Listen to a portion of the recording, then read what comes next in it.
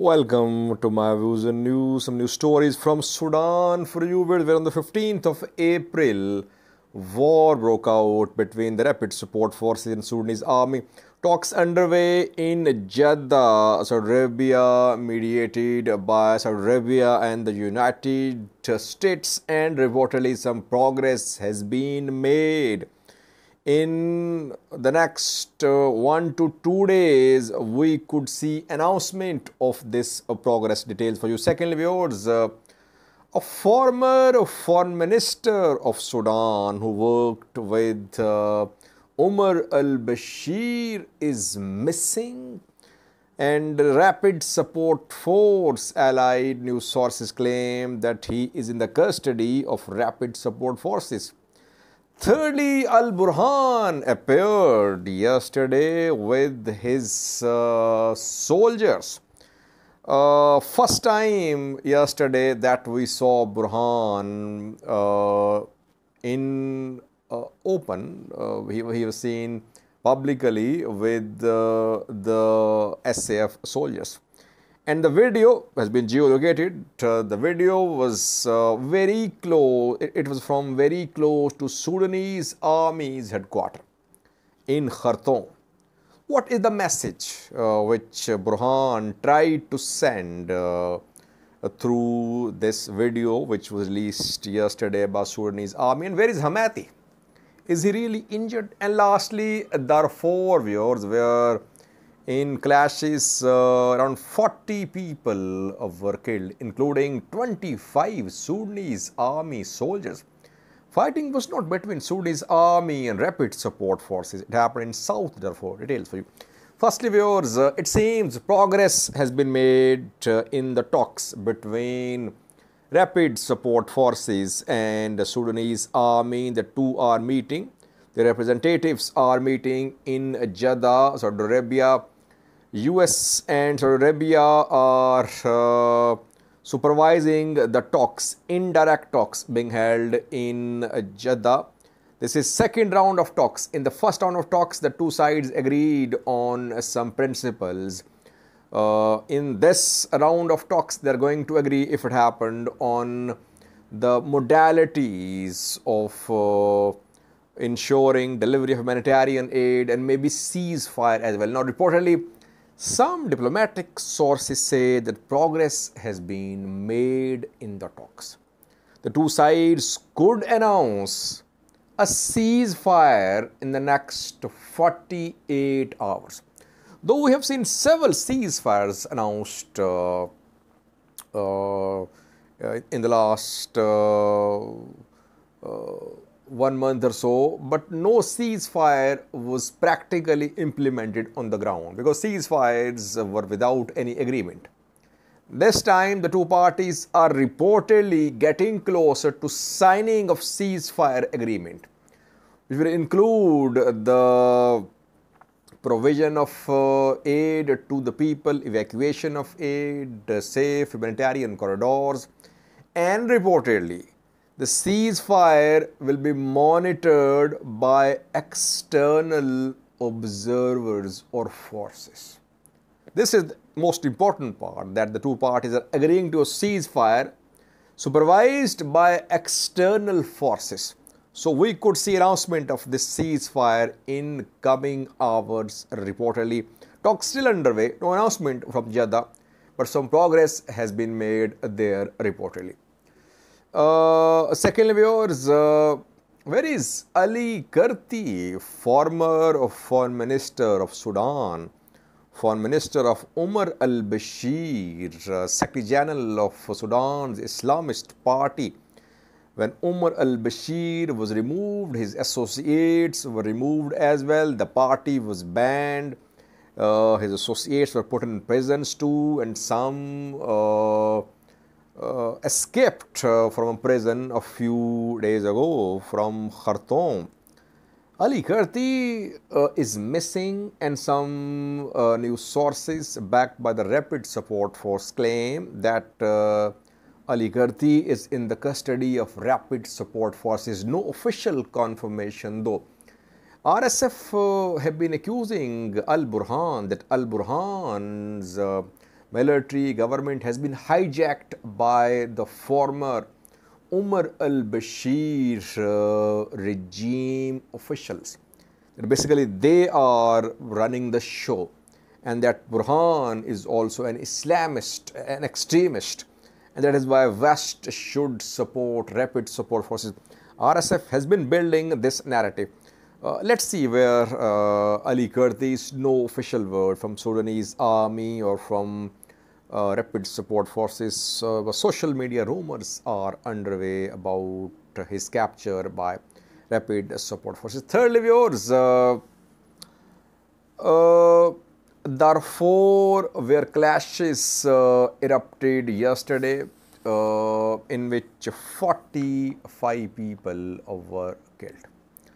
It happened in South Darfur near Al Nadif in a small village.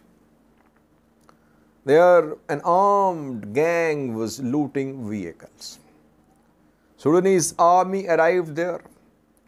It chased armed gang members who entered a village Fighting started and uh, 45 were killed in this incident, including 33 Sudanese army members and 22 from the other side. Uh, it, it, wasn't uh, fighting between rapid support forces and Sudanese army. There are several groups in Darfur, in different parts of Darfur. Uh, there is Sudanese army, rapid support forces, different militia, different tribal groups.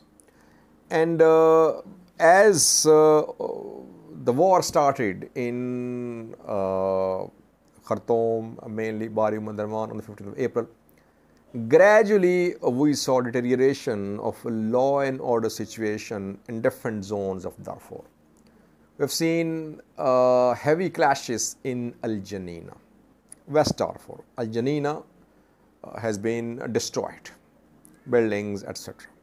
And clashes are not only between Sudanese army but also between different uh, tribes. Because in Darfur, we know that it, it has history of uh, ethnic violence. Decades ago, two decades ago, there, there was uh, ethnic violence. Uh, tens of thousands were killed. Same should be happening now. And tribes are now taking sides. Uh, some tribal elders are starting to speak in favor of uh, rapid support forces. Some are expressing their neutrality, others are silent. Some could be supporting the Sudanese army. Basically, we're seeing a very volatile situation in Darfur. If the war goes on and if uh, we see start of uh, uh escalation in Darfur. Again, tens of thousands could be killed, and this war will be deadlier and bloodier than what is happening in Khartoum, Bahri, and Umm Darman. Just today, we saw uh, a statement uh, from Ali Tijani, Abdul Akadir, Muhammad Usman uh, of Misriya. He announced his support for rapid support forces. But in uh, we saw a statement from Misriya Homer Nazir, who announced uh, uh, to be a neutral. So, different tribes are taking different positions, which will lead to further a conflict in different parts of Darfur, a little bit in Kordofan as well. Uh, thirdly, viewers, uh, we have two clips for you showing uh, firstly the appearance of uh, Al Burhan, Sudanese army chief, who suddenly appeared in front of Sudanese army headquarters in Khartoum yesterday. And uh, first public appearance of uh, Al Burhan with his fighters because his two earlier appearances were from inside a building where he was seen uh, holding a meeting with some of his uh, commanders but this time he was seen uh, outside a building, standing uh, on a road, uh, talking to his soldiers.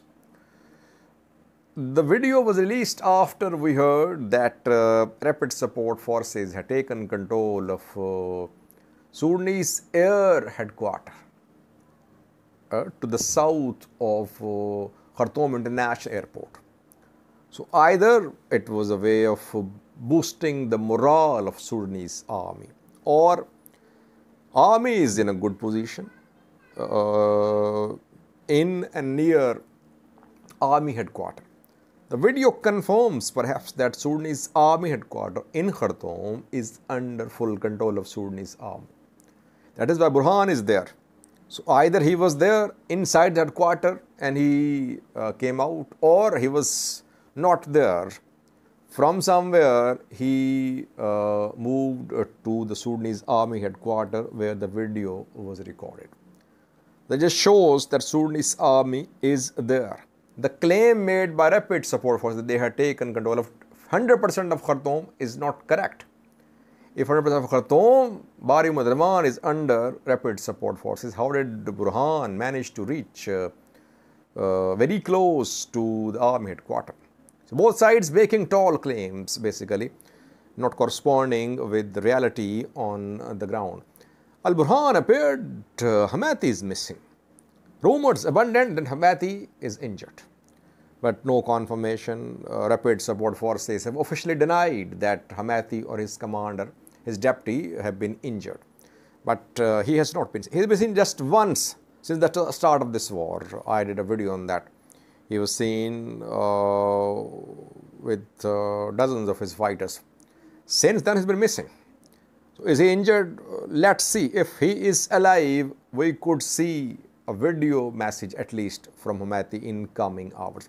Two clips for you. One showing uh, Burhan's appearance. Uh, Burhan appeared uh, in front of Sudanese army headquarters in Khartoum. Second video shows protest outside uh, the hotel where UN uh, envoy to Sudan is staying. Volker Perthes head of UN's uh, transition uh, integrated transition mission and uh, some pro army Sudanese protesters protested uh, a few hours ago in front of the hotel chanting slogans telling the UN envoy to leave the country. Why are people angry with Volker Perthes? Is it because UN is taking sides uh, or is it because UN is not doing enough for the people? Yes, people say that uh, delivery of aid to the people of Sudan, uh, in Port Sudan, in other parts of Sudan has been very slow. People are suffering. Tens of thousands are being displaced uh, internally, externally. UN's role so far has not been impressive. People are angry. That is why the protest was held outside the hotel where Volker Perthes is staying. Watch the two videos. Thank you for watching.